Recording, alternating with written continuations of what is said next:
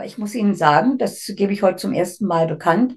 Also ich trete aus der CDU aus, äh, ganz klar. Jetzt, nachdem sich ähm, ein Herr äh, Merz oder ein Herr Merzel, ist ja besser beschrieben, ähm, der die Tradition von Frau Merkel fortsetzt, äh, dazu bekannt hat, also Koalitionen lieber mit, äh, der, mit den Grünen einzugehen, äh, als mit einer, ähm, mit einer echten Oppositionspartei wie der AfD. Das ist für mich nicht mehr, nicht mehr tragbar. Und ich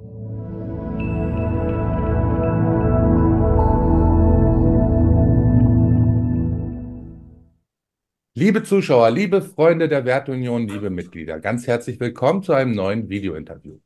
Mein heutiger Gast war DDR-Oppositionelle. Sie war Gründungsmitglied der SPD in der DDR, saß dann von 1990 bis 1994 für die SPD im Deutschen Bundestag und wechselte dann zur CDU. Ich begrüße heute ganz herzlich Frau Angelika Barbe. Hallo, Frau Barbe. Hallo, Herr Reinhardt, ich grüße Sie ganz herzlich zurück. Frau Barbe, ich möchte Ihnen als erstes eines meiner dunkelsten Geheimnisse erzählen.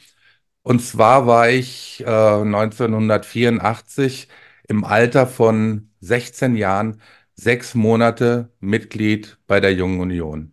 Ich bin mhm. sehr schnell wieder ausgetreten nach sechs Monaten Mhm. Und äh, ich möchte Sie fragen, warum sind Sie denn eigentlich noch in der CDU? Ja, da muss ich ein bisschen, ähm, bisschen weiter ausholen. Ich muss einfach nochmal äh, auf ähm, mein, meinen äh, biografischen Hintergrund zurückgehen. Äh, diese, ich habe ja die SPD in der DDR unter großer äh, Angst vor dem Regime äh, mitgegründet, äh, um eine Alternative zu haben. Ne? Wir haben damit ja die, äh, der SED die Machtfrage gestellt. Und dann erlebte ich ähm, äh, als es dann schon äh, Deutsche, in der deutschen Einheit erlebte ich, dass ähm, die SPD West, die ja uns dann total majorisiert hatte, und äh, die ganzen U-Boote von der SED, die dann in der äh, DDR, in der SPD äh, Ost waren, dann erlebte ich, äh, dass es dann wieder eine Zusammenarbeit mit den äh, mit der Mauermörderpartei, die sich damals noch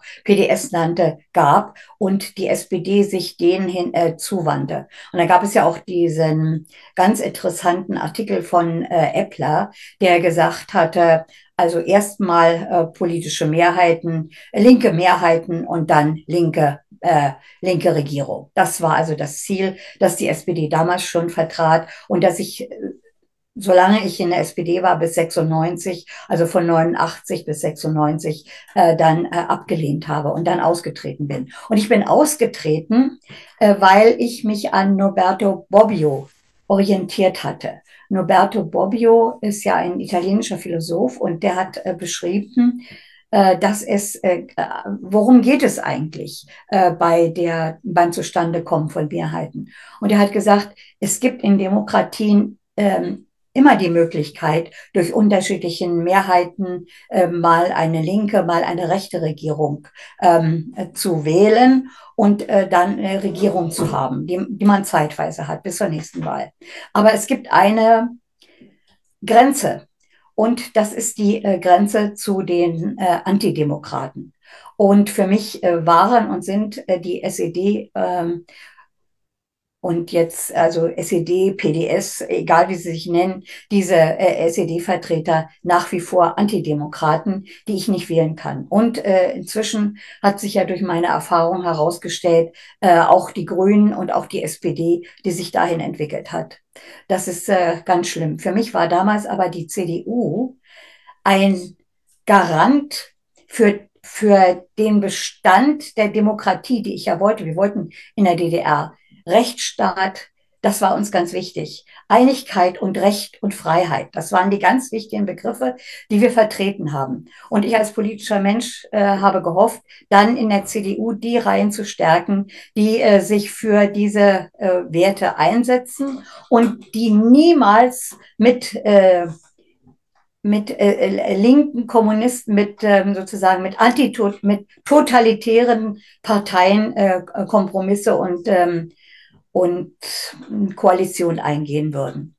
Äh, aber ich muss Ihnen sagen, das gebe ich heute zum ersten Mal bekannt.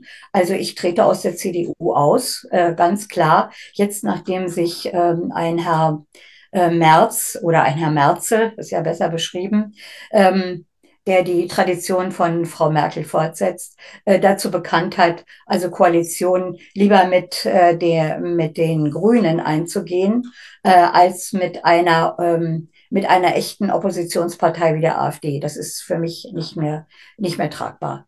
Und ich warte nur darauf, äh, dass ähm, die Werteunion gegründet wird als Partei, um dann die äh, Werte der CDU, die äh, konservativen Werte, weiter vertreten zu können. Und Sie möchten dann auch Mitglied der Werteunion-Partei werden? Ich bin, ich bin seit einem Jahr Mitglied der Werteunion, äh, der, äh, der, ja, des, des Vereins, Vereins mhm. des Vereins. aber ich möchte dann ohne irgendein ähm, Amt oder Mandat anzustreben, das ist nicht mein Interesse, aber um die Werteunion zu unterstützen. Für mich ist, hat es mehrere Gründe. Einmal ist es die unglaublich integre Person, äh, von ähm, Hans-Georg Maaßen. Das schätze ich über alle Maßen. Ich war damals, als die, äh, die sogenannten Hetzkampagnen äh, stattgefunden haben, äh, war ich ähm, äh, also äh, äh, täglich an den Meldungen dran und hatte an dem Montag, äh, das war im August 2018, am Montag das Interview gehört mit dem ähm, Chefredakteur der Chemnitzer Nachrichten. Und er, und er sagte nein, also bei uns hat es keine, äh, bei uns gab es nichts Auffälliges, es gab keine äh, Jagden, es gab keine Gewalt, gar nichts. Und Hetzjagden gab es erst, gar, äh, erst recht nicht. Das hatte ich gehört, habe daraufhin gleich auch einen Artikel geschrieben, der dann bei David Berger, äh, also Perennis, Philosophia Perennis, erschienen ist und habe geschrieben, es gab keine Hetzjagden. Und musste dann zu meinem Entsetzen feststellen, äh, dass ähm, Frau Merkel das immer zu wiederholte äh, aber auch der, äh, zu meiner Freude, Hans-Georg Maaßen, damals noch Verfassungsschutzpräsident, äh, auch ähm, bestätigte, nein, nach unseren Informationen liegen hier keine Hetzjagden vor. Diese, diese Lüge der Hetzjagden, diese Diffamierung der Ostdeutschen als rechtsextreme ähm, äh, ja, Kriminelle, das fand ich so erschreckend und so bösartig, äh, dass ich also ähm, äh, nur meinen Hut gezogen habe vor Hans-Georg Maaßen, der äh, ganz ähm, integer gesagt hat, nein, ich stehe dazu, nach unseren Informationen, die wir auch aus dem sächsischen Verfassungsschutz haben, äh, die wir vom Bundeskriminalamt haben, äh, bleibe ich dabei, es gab keine Hetzjagden und der ja wegen seiner, äh, we wegen seines Bestehens auf der Wahrheit äh, zurücktreten musste. Und das schätze ich. Ähm, für mich inzwischen sowieso so, dass äh, für mich nur noch Parteien in Frage kommen oder, oder, äh, oder Verbände, äh, die von integren Persönlichkeiten also auch geführt werden. Das halte ich inzwischen für eine ganz wichtige Lebenserfahrung. Mhm. Warum treten Sie nicht in die AfD ein oder warum sind Sie noch nicht in die AfD eingetreten?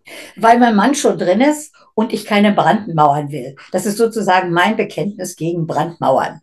Äh, das halte ich für ganz, äh, ganz wichtig. Äh, AfD wäre genauso sinnvoll. Ich wollte eigentlich in gar keine Partei mehr eintreten, weil Parteien das äh, habe ich genauso erlebt wie Sie in Parteien viel, vielfach es gar nicht um die, ähm, das Gemeinwohlinteresse geht, sondern um irgendwelche äh, narzisstischen ähm, äh, äh, ja, äh, Interessen einzelner ähm, ja, Partei. Äh, ähm, Mitglieder. Mhm. Und äh, das hat mich auch äh, immer schon abgeschreckt. Also ich wollte nicht in die AfD, äh, ich wollte in keine Partei mehr eintreten. Jetzt möchte ich aber aus ganz starken Motiv, äh, politischen Motiven die Werteunion stützen. Weil äh, es kann nicht sein, dass ähm, wir, wenn ähm, die CDU, die jetzige CDU, also die, die ja den Weg meiner Ansicht nach der Demo, der äh, Christiane Demokratia in Italien geht und äh, vom,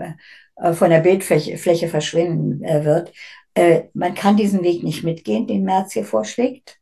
Man, ähm, weil er mit äh, den Grünen und mit den Kommunisten und mit den Neokommunisten eine, ähm, also weiter, äh, ein weiter so betreiben will.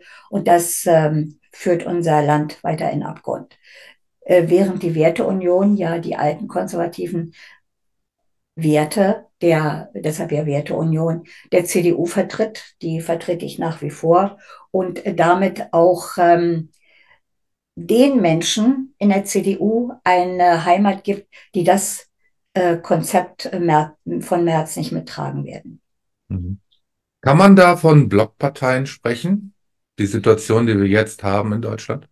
Ja, man kann eindeutig von einer nationalen Front sprechen. Ist ja egal, wen Sie wählen. Ob Sie jetzt äh, CDU wählen oder, ähm, oder, oder SPD oder Grüne oder FDP äh, oder SED. Äh, es ist alles dasselbe. Das ist die nationale Front, die wir in der DDR hatte, hatten, die angeblich also äh, die Interessen des werktätigen Volkes ähm, äh, vertreten würden. Und eine nationale Front hatten wir in der DDR schon. Die will ich nicht schon wieder haben. Aber die, die äh, die haben wir im Augenblick wieder hier in, in Westdeutschland, was ich nie, nie hätte für möglich gehalten.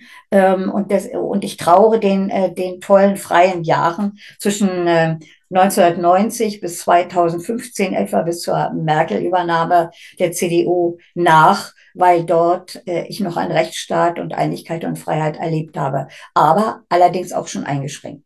Äh, das muss ich zugeben. Ich habe inzwischen viel gelernt, auch ähm, habe ich mir mal das Buch von Sheldon Wollin vorgenommen. Der spricht vom umgekehrten äh, Totalitarismus.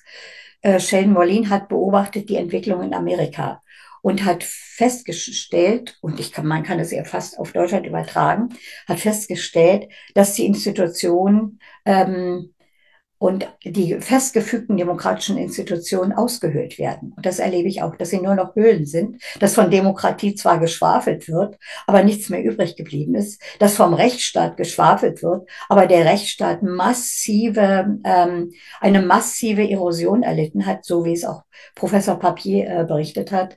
Und wenn wir uns angucken, äh, man hat uns Grundrechte in der Corona-Zeit zugeteilt.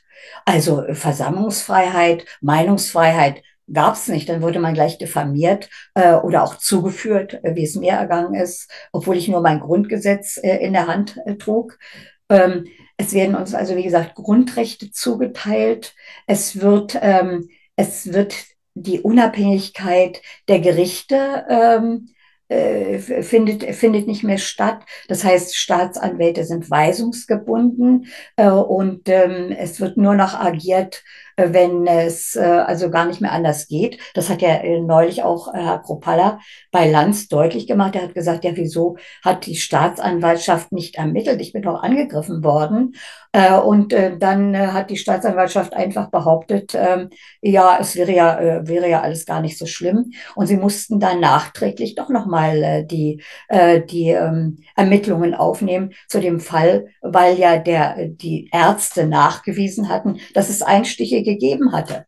Äh, und dass da eine Staatsanwaltschaft untätig ist, ist für mich undenkbar, weil ich bin Chefin und äh, kann es überhaupt nicht verstehen, äh, dass ein, ähm, dass ein, dass der Rechtsstaat so versagt. Es, es sind etliche Dinge, ne, die, die also ausgehöhlt sind, die nicht mehr stattfinden, so wie das Sheldon Wollin beschrieben hat, mit dem umgekehrten Totalitarismus und sagt, es ist ganz schleichend. Es findet schleichend eine Aushöhlung statt und das ist gefährlich. Und so sehe ich das auch bei bei den Parteien. Also wenn sie einen Herrn Merz hinstellt und auf einmal mit den Kommunisten, mit den, äh, im Grunde mit den, den grünen Neokommunisten äh, da Allianzen eingehen will, dann ist das für mich ein Bruch und da muss ich austreten und das äh, tue ich hiermit äh, und äh, kann dann nur die stärken, die wirklich noch auf dem Boden des Grundgesetzes, auf der freiheitlich-demokratischen Grundordnung stehen.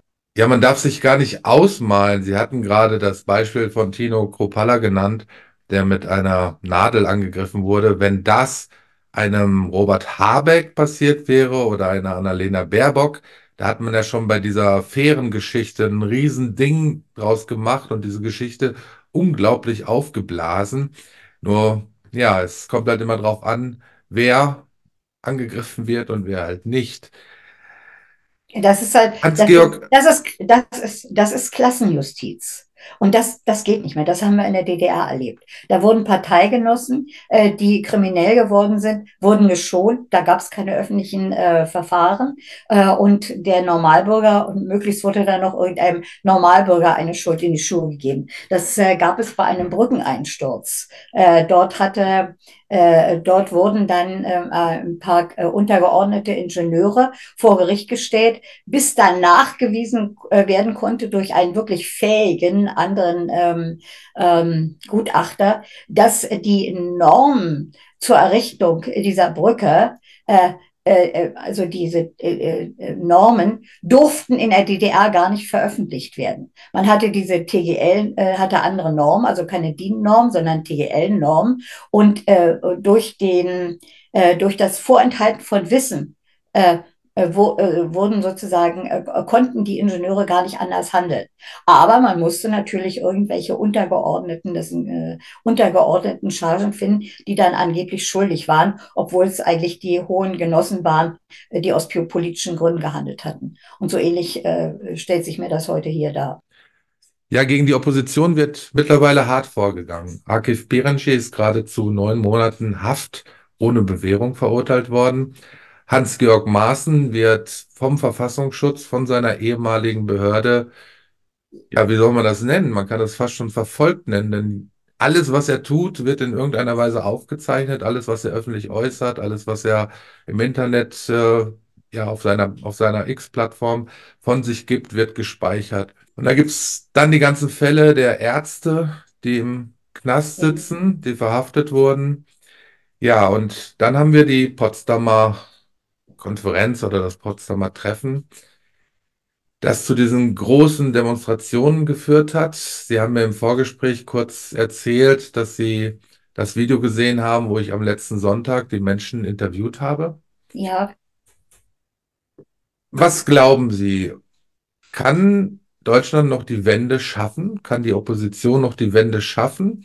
Oder ist es nicht mehr möglich, weil die Regierung tatsächlich alles so in den Händen hat, vor allen Dingen die Medien, dass quasi keine Chance mehr besteht, da in irgendeiner Form eine ja, neue politische Richtung einzuschlagen. Äh, dazu möchte ich noch kurz äh, ausholen, ähm, um zur Beantwortung Ihrer Frage zu kommen. Ähm, Hans-Georg Maaßen hat ja auch deutlich gemacht, das wusste ich auch gar nicht vorher, dass der Verfassungsschutz niemals Einzelpersonen äh, beobachten durfte. Das ist erst unter äh, Merkel geändert worden.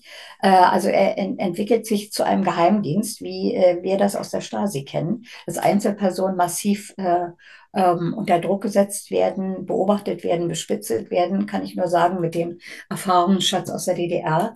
Äh, das war früher nur der Polizei äh, möglich, Einzelpersonen zu beobachten und dann auch nur, wenn es eine ganz starke Gefahr war.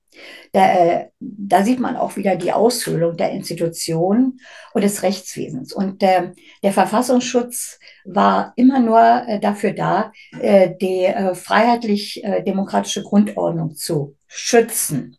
Und diesen Schutz dann so ähm, also umzupolen, dass schon eine sogenannte Delegitimierung des Staates oder eine äh, kritische Betrachtung der Regierungsmitglieder äh, zu einer ähm, zu einer Bedrohung für die Regierung führt, das halte ich für äh, infam äh, und kann nur sagen, also die meistgehasste Ministerin wird, wenn sie so weitermacht, Frau Feser sein, so wie es Hamilke in der DDR war. Äh, anders äh, kann ich das nicht einschätzen. Ich, jetzt fragten Sie danach, muss man sich da jetzt hoffnungslos zurücklehnen äh, und passiv werden? Und da kann ich nur widersprechen und sagen, auf gar keinen Fall. Äh, sehen Sie, bei den Medien äh, ist klar, Sie, äh, das sind Regier im Grunde genommen Staatssender. So sehe ich das. Also der öffentlich-rechtliche Rundfunk ist ein Staatssender, wird ja auch mit von der Regierung finanziert und in den Rundfunkräten und ähm, sitzen also die äh, ganzen Minister drin. Also wenn ich denke, Rheinland-Pfalz, hier Malu Dreyer ist Vorsitzender des, äh, des äh, Rundfunkrats und so weiter. Also die beherrschen, die Politik beherrscht praktisch äh, die Medien. Und ähm, denkt gar nicht daran, hier ähm, äh, frei, also wirklich äh, demokratisch zu berichten. Aber an der Stelle, äh, wir haben ja unsere, wir haben ja die alternativen Medien. Insofern ist das Internet ein ganz großes Geschenk an uns Bürger. Wir können uns ähm, frei informieren, so wie jetzt bei Ihnen, äh, so wie Sie. Sie gehen auf die äh, Straße, Sie interviewen die Leute, Sie bringen das und ähm, man kann sich selber ein Bild machen. Und das ist ja das Wichtige in der Demokratie. Man hat eine Hohlschuld als Bürger, äh, die Hohlschuld, sich selber zu informieren. Und das kann man machen. Und jetzt gibt es, und das ist ja das, äh, auch das wieder das, äh, da gibt es den schönen Satz von Hölderlin, wo Gefahr ist, wächst das Rettende auch. Und wer jetzt in der CDU sich unwohl fühlt, wer als Parteimitglied hier sich für die freiheitlich-demokratische Grundordnung einsetzt, so wie ich das tue, seit, also seit noch vor DDR-Zeiten, seit DDR-Zeiten schon, ähm, Wer das machen möchte, der kann es jetzt tun, wenn die Werteunion sich zur Partei äh, umorganisiert. Also das heißt, es stimmt nicht, äh, die Werteunion als Verein wird bleiben, aber es wird eine zusätzliche Partei geben, die Werteunionspartei. Man kann dann dort eintreten und kann dann ähm, praktisch äh, dem ähm, Herrn Merzel äh, die rote Karte zeigen. Das ist eine Möglichkeit. Und äh, natürlich gibt es keinen Umschwung äh, sofort. Aber bei den ähm, Landtagswahlen in Thüringen, in Sachsen und Brandenburg kann eine Werteunion-Partei äh, doch schon äh, mit gewissen ähm, Stimmenanteilen eine, äh, eine, eine Politik, äh, eine, eine sogenannte wie bisher Politik verhindern. Das ist meine große Hoffnung. Dazu ist es aber nötig, äh, dass sich viele informieren, dass sie diesen Weg gehen und sagen, nee, entweder AfD oder Werteunion, was anderes kommt für mich nicht mehr in Frage. Mhm. Und wie gesagt, in unserer Familie haben wir ja schon diese, diese äh, Koalition ähm, ohne Brandmauer. Und das ist eigentlich äh, das Ziel, was ich mir so vorstelle. Ja. Ja, danke schön dafür. Wie bewerten Sie die Menschen? Ähm, 70 Prozent der Deutschen, wenn nicht mehr, sind unzufrieden mit der Regierungsarbeit. Glauben Sie, dass die Menschen immer mehr aufwachen oder sind da zu viele, die sich immer noch im Mainstream in, informieren und tatsächlich nicht aufwachen? Ähm, Ihr Interview hat ja gezeigt, dass es natürlich etliche gibt, äh, die äh, den Mainstream hören. Sie hatten ja auch gefragt, äh, die eine Dame, wo, wo haben Sie diese Information her? Und die hatte gesagt, na ja, hier beim, äh, beim Fernsehen, beim täglichen Nachrichten. Ne? Ja, sie hatte gesagt, beim, äh, was hat sie gesagt, bei den Volks... Ja, ja, ja, ja, und, und sowas. Ne? Da, na klar kriegt man da das Lachen, aber ist egal. Äh, ich denke an die ähm, ersten freien Volkskammerwahlen in der DDR zurück. Dort haben ja auch 16 Prozent die, die alte äh, Verbrecher- und Mörderpartei SED gewählt, die ja damals noch existierte unter dem Namen SED-PDS. Ähm, und vier, aber 84 Prozent haben eben andere Parteien, neue Parteien gewählt. Das ist der Unterschied. Es gibt immer einen großen Prozentsatz von Mitläufern. Es gibt einen Prozentsatz von Profiteuren. Es gibt einen großen Prozentsatz von Staatsbeamten, ähm, ähm, äh, die ja, äh, die ja von der Regierung leben, wes äh, Brot ich esse, das Lied ich singe, das trifft ja immer wieder zu. Und diese Beamten ähm, äh, brauchen ja ihre Heimat und die wollen natürlich äh, nicht, dass äh, die Hand, die sie füttert, äh, dann auf einmal ähm, verdorrt. Ne? Und damit muss man immer rechnen. Dann haben wir die große Asylindustrie, die davon lebt, dass wir hier unrechtmäßig ähm, äh, äh, also eine riesengroße Gruppe von Menschen aufnehmen, die, ähm, die überhaupt keine Berechtigung haben, im Land zu leben. Ich meine, ich selber, ich, also wenn ich daran denke, ich könnte verzweifeln. Ich habe selber 92 dem Asylkompromiss zugestimmt. Das heißt, der Änderung des Artikels 16, äh, wo eine Drittstaatenregelung ähm, beschlossen wurde. Wir haben das ganz bewusst parteiübergreifend beschlossen. Und jetzt hebeln das äh, die Regierungsparteien alles aus, was rechtsstaatlich geboten ist. Sie verstoßen gegen Verfassung, gegen Recht und das machen sie mit einem, mit einer Chutzpe, die äh, schon unglaublich ist. Und da muss ich als Bürger sagen, das äh, lasse ich mir nicht gefallen. Dagegen stehe ich auf und ich, ich freue mich einfach über jeden Mitstreiter, der das genauso sieht. Mhm. Was hat denn damals in der DDR zum Kipppunkt geführt? Oder es gibt ja auch Stimmen, da möchte ich auch gern mal drüber sprechen. Es gibt Stimmen, die sagen, das Ganze war sowieso geplant. Die großen Demos wurden ja zugelassen und es war von vornherein klar und geplant, dass die Wiedervereinigung kommt und dass das mit den Demos gar nicht viel zu tun hatte. Ja, sehen Sie das auch so? Und dann gibt es natürlich auch die Stimmen, die sagen, nicht äh, die BRD hat die DDR übernommen, sondern die BRD wurde quasi der DDR angegliedert. Äh, Ja, wie sehen Sie das? ich sehe es ein bisschen, ein bisschen anders. Es ist ähm, schon so, äh, dass wir, ähm, äh, dass sich viele, äh, die heute sich die Augen reiben, sagen, Mensch, das hatten wir alle schon mal in der DDR. Aber allerdings anders. Ne? Es ist, es ist schon anders. Man muss äh, genauer schauen. Äh, Während wir früher einen, ähm, einen, äh, einen kommunistischen Totalitarismus haben, ähm, wo also die Regierung alles beherrscht hat. Die Wirtschaft, die Institutionen, die Kirchen, äh, die äh, Gewerkschaften, das waren alles auch Regierungsgründungen. Ähm, ist es heute schon, äh, ist es heute anders. Dort entscheiden jetzt Wirtschafts, äh, äh, also sagen wir mal, große Wirtschaftsunternehmen wie Big Finance, Big Pharma, ähm, äh, Militärapparate wie, äh, wie äh, äh, die hier Waffenproduzenten entscheiden äh, oder, oder haben sich die Regierung ich will nicht sagen gekauft, aber mir fällt im Augenblick nichts anderes ein, äh, haben sich die Regierung untertan gemacht, beziehungsweise haben sich die Leute ein, äh, ein äh, äh, dort hochge haben die Leute eingesetzt, die sie brauchen, um ihre Politik durchzusetzen. Und wenn man sich anguckt, wer alles bei Herrn Schwab in die Schule gegangen ist, Annalena Baerbock und äh, Lindner und wie sie alle heißen, äh, dann äh, verdichtet sich äh, dieser Verdacht, äh, dass es äh, so läuft. Ne? Ähm, aber die, ähm, die, äh, ähm, es gab doch in den ersten Jahren, also wirklich, äh, wir haben das Glück gehabt, auch eine, eine demokratisches Deutschland zu erleben, ne, mit Rechtsstaat und allem, wa- was dazu gehört. Dass sich das jetzt so verändert hat, ist ein, ähm, ist, äh, äh, ist der Tatsache zu verdanken, dass sich zu viele Leute äh, einfach wohlgefühlt haben, aber nichts für den Demokratieerhalt getan haben. Ähm, es reicht ja nicht, Parteimitglied zu sein. Da muss man auch dafür sorgen, äh, dass bestimmte Dinge auch umgesetzt werden.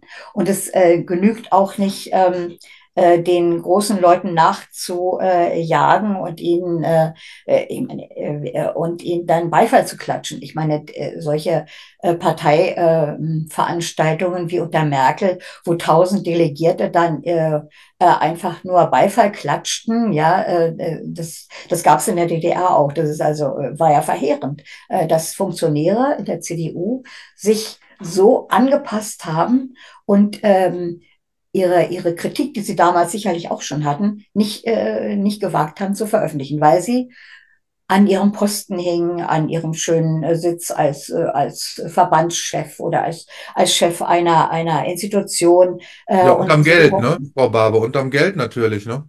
ja, natürlich, natürlich. Äh, Es, es ging nur ums Geld und das ist, äh, äh, das muss man begreifen, dass es so nicht weitergeht. Es muss um, um Werte gehen. Ne? Äh, also, wie gesagt, die, ähm, die DDR, nochmal zur Frage zurück, die ähm, DDR war auch pleite. Sie war absolut pleite, sie konnten nicht weitermachen. Damals äh, ist ja in der einer der, ähm, der ersten Sitzungen, als äh, Egon Krenz Honecker abgesetzt hatte und an der Regierung war, hat er einen, äh, einen Bericht äh, hören wollen, wie es um die Wirtschaft wirklich be besteht ist. Und das war der sogenannte Schürer-Bericht. Äh, Gerhard Schürer war, äh, war im, bei, bei Mittag im, im Wirtschafts, äh, ähm, ja, wie sagt man, im Wirtschaftsministerium. Und der hatte dann eine, eine kritische Analyse vorgelegt. Und da stand drin, die DDR ist pleite und ohne die Milliarden des Westens können sie nicht überleben. Und sie haben damals schon auch geschrieben, das war im Oktober, äh, ja, das war im Oktober 89, 90, äh, Oktober 89 und hat geschrieben, wir werden die Sozialleistungen um 30 Prozent senken müssen, sofort. Und das in dem, äh, zu der Zeit, als Massen von Menschen über die Botschaften, die ähm, tschechische und die äh, polnische Botschaft äh, in den Westen geflohen sind und überhaupt nicht mehr da bleiben wollten und es massenhaft Ausreiseanträge gab. Also die DDR löste sich auf. Äh, und äh, man muss auch wissen, die, die, äh, die, dieser Massen, ähm, äh, Massenexodus, der setzte sich bis zur Einführung der D-Mark fort. Wenn immer gesagt wird, ja, aber dann hätte man doch äh, das ändern können. Ähm, nein, die Leute wollten nicht mehr da bleiben. Sie flohen aus der DDR. Sie, sie trauten auch auch äh, dem neuen äh, Regime praktisch nach der Volkskammerwahl nicht so richtig, weil sie nicht wussten, wann kommen die Kommunisten wieder an die Macht. Die hatten also äh, Angst vor denen und wollten denen entfliehen. Das, das muss man wissen, wenn immer wieder gesagt wird, ja, hättet ihr auch sonst was machen können. Und hinzu kam ja noch eine Sache, die ist auch äh, völlig unbekannt. Äh, das RGW, das sogenannte äh, der Rat für gegenseitige Wirtschaftshilfe, da waren alle kommunistischen Länder drin vereinigt. Dieser Rat für gegenseitige Wirtschaftshilfe, der änderte ab 1.1.1990 sein Bezahlsystem. Das heißt, die Leute, äh, es wurde nicht mehr ein Tauschsystem organisiert. Also die, äh, die Ungarn schickten uns, glaube ich, Icarus-Busse und wir schickten an die Russen unser Uran und so weiter. Also dieser, dieses Tauschsystem funktionierte nicht mehr, sondern ab 1.1.1990 mussten die äh, alle sozialistischen Staaten dann auf dem Weltmarkt für teure Valuta äh, Dinge einkaufen beziehungsweise verkaufen. Und äh, wenn ein System äh, pleite ist, wie unseres, und wenn die Produktionskosten zu hoch sind, dann können sie eben ihre Produkte nicht mehr wettbewerbsfähig äh, machen. Das ist einmal, sie, sind, sie waren einfach nicht wettbewerbsfähig und äh, hatten auf, der, auf dem Weltmarkt keine Chancen mehr. Und so sind auch etliche Exportbetriebe damals pleite gegangen. Und das wird dann, wurde dann der Treuhand unterstellt und sonst. Äh, nein, das hatte einfach damit zu tun, äh, dass das Wirtschaftssystem zusammengebrochen ist. So äh, ist das Ganze gelaufen. Es war ein wirtschaftlicher Totalzusammenbruch, äh, der aber durch äh, den Westen, ähm, ja, hm, durch den Westen aufge, aufgenommen wurde. Das heißt, wir hatten Glück, dass wir einen westlichen Partner hatten, der Westdeutschland, die uns äh, sozusagen aufgenommen hatten. Äh, dass das politisch anders gelaufen ist als jetzt wirtschaftlich, das ist eine Frage äh, der, äh, der politischen, ähm, wie soll ich es beschreiben, der, der politischen Anpassung.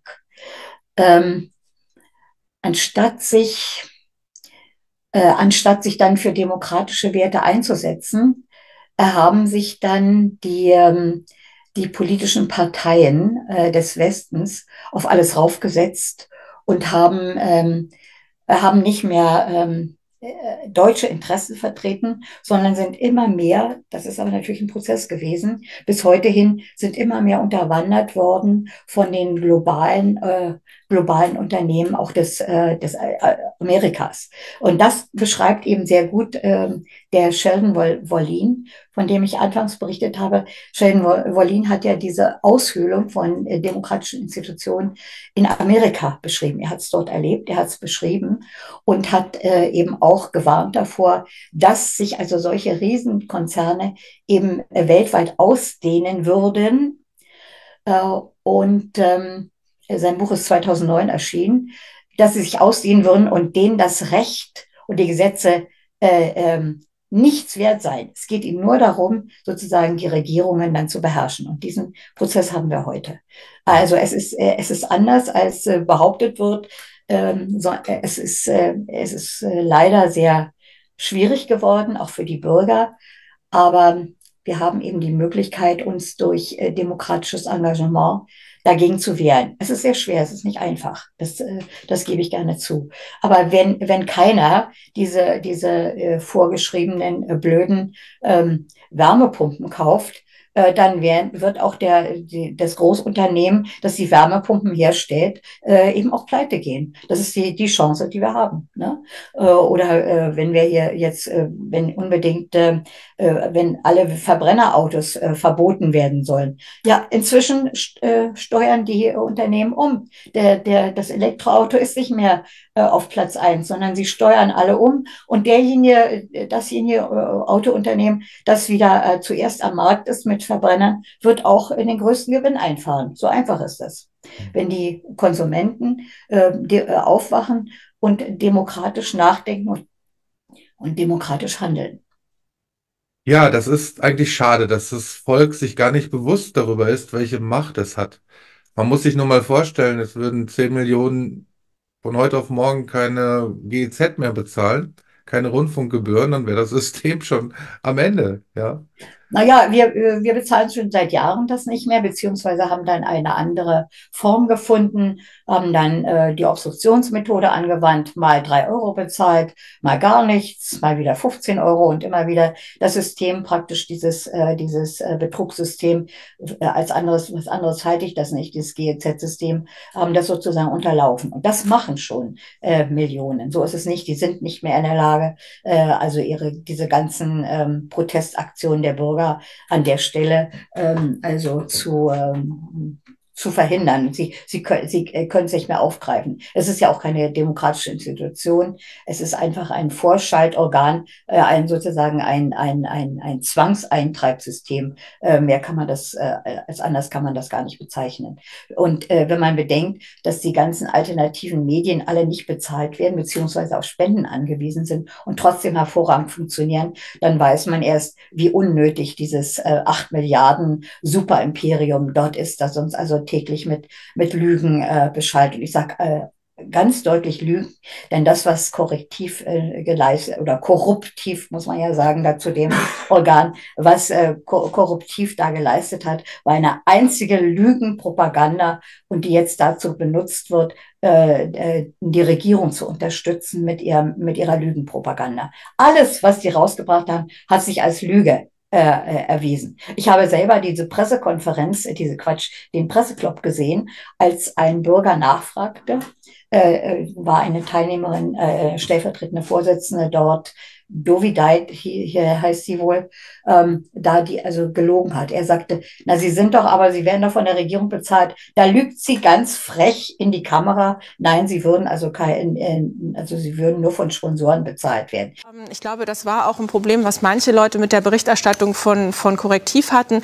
dass das ja dann gleich in die, in die Richtung von, ähm, also in die Nähe von der Wannsee-Konferenz 1942, wo die ähm, massenhafte Tötung von Juden beschlossen wurde, gestellt wurde. Ja, aber wir also, haben das nicht geschrieben, ne? Wir haben auch nicht von Deportation gesprochen oder so. Das wurde dann von denen, die es interpretiert genau, haben. In diese genau, genau, ähm, genau. Da wurde das dann gleich so aufgenommen von vielen Kommentatoren und äh, das hat dann wieder gleich zu so einer Gegenreaktion ähm, geführt, äh, wo, wo dann irgendwie so ankommt, na, das ist doch völlig übertrieben und wieder moralische. Die Frage bezog sich ja jetzt auf uns. Ja. Ich muss noch ganz kurz sagen, Herr Mayer, ja. falls Sie noch zuhören, Korrektiv ist nicht von der Regierung bezahlt. Unsere Recherchen sind nicht von der Regierung bezahlt, sondern von Stiftungen und Dauerspendern. Und ich weiß, dass die AfD die ganze Zeit versucht, von ihrem Thema wegzulenken und Alles zu sagen, wir machen jetzt mal Korrektiv zum Thema. Das ist falsch und ich hoffe, das kommt bei Ihnen an. So. Diese Lüge ist ja nun Gott sei Dank aufgeflogen und Ihre Nachrichten haben sich auch als Lügen herausgestellt. Also ehrlich gesagt, was Besseres äh, oder was Schlimmeres kann den, äh, den, dem öffentlich-rechtlichen Rundfunk gar nicht mehr widerfahren. Hm. Also wenn sie so offen lügen, ist es, kann man sie wirklich jetzt nur noch als Lügensender bezeichnen. Ja, sie sägen den Ast ab, auf dem sie sitzen. Anders kann man es ja nicht mehr sagen. Ja. Frau Barbe, ich freue mich sehr, dass Sie so zuversichtlich sind.